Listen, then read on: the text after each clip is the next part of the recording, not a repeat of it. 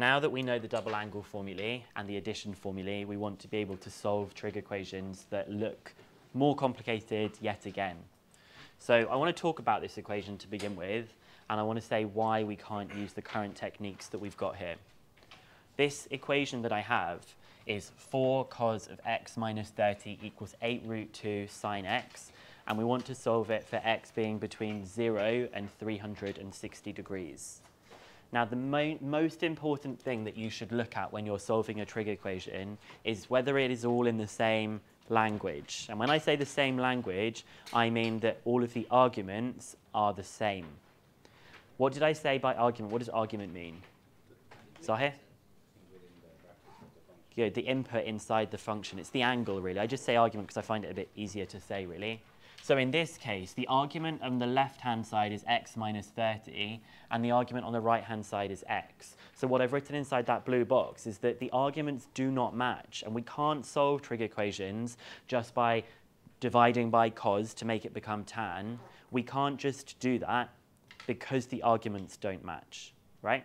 If this was this equation, if it was 4 cos x equals 8 root 2 sine x, we could solve that because the, uh, the arguments match. And I could divide this by cos, and I could divide this by cos. So I get 4 equals 8 root 2 tan x. I'm allowed to do this because the arguments here match, so I can make it become a tan x. But in this case, I couldn't use that technique because if I divided everything by cos of x minus 30, this doesn't become tan of x or tan of x minus 30 because the arguments don't match each other. And so there's obviously that hint that I've written at the top that this is going to be using the addition formula. So I'm going to have a look at the left-hand side, and I'm going to expand out what that is using the addition formula. So cos of x minus 30, um, Imran, what does cos of x minus 30 expand to?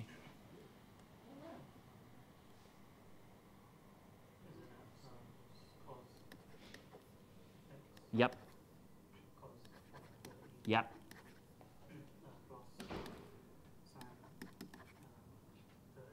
Yep. Good. And then on the right-hand side, we've just got 8 root 2 sine x, like we've got here. You can see why I wanted you to memorize what the sine and cos of 30 are. What's the sine of 30? Half. Sine of 30 is a half, so cos of 30 is root 3 over 2. So I can now go through here. I'm going to have 4 multiplied by cos x multiplied by root 3 over 2 plus, don't forget the 4, 4 multiplied by sine x multiplied by sine 30, which is a half, which is equal to 8 root 2 sine x. So this is 4 times root 3 over 2. That's 2 root 3 cos x then I've got 4 times a half, which is 2 sine x, and that's equal to 8 root 2 sine x that we've got here. And now the arguments are all the same as each other. So this is now the same as what we would have done in the end of year 12 maths, at the end of pure year 1. We can now solve this equation because the arguments match. But before I go about solving I probably want to do one, a couple of things first. Any suggestions? Good, put the sine all onto one side. So I get 2 root 3 cos x equals 8 root 2 minus 2 sine x. I've just factorized, I've put the minus 2 sine x and I've also factorized it straight away. Okay? And then, I already mentioned earlier how we solve these equations. What do I do? When we have a mix of sine and cos.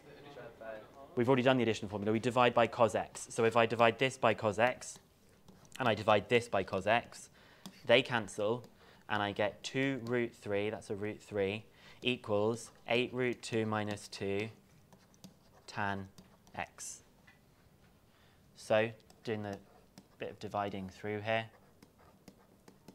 that is equal to tan x.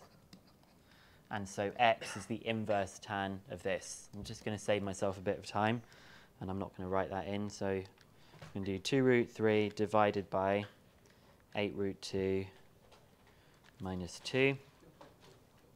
And I'm going to do the inverse tan of this. And your calculator must be in degrees mode because it's asking for it between 0 and 360 degrees.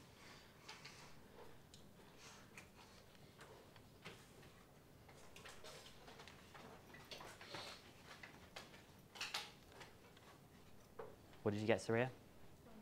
Okay.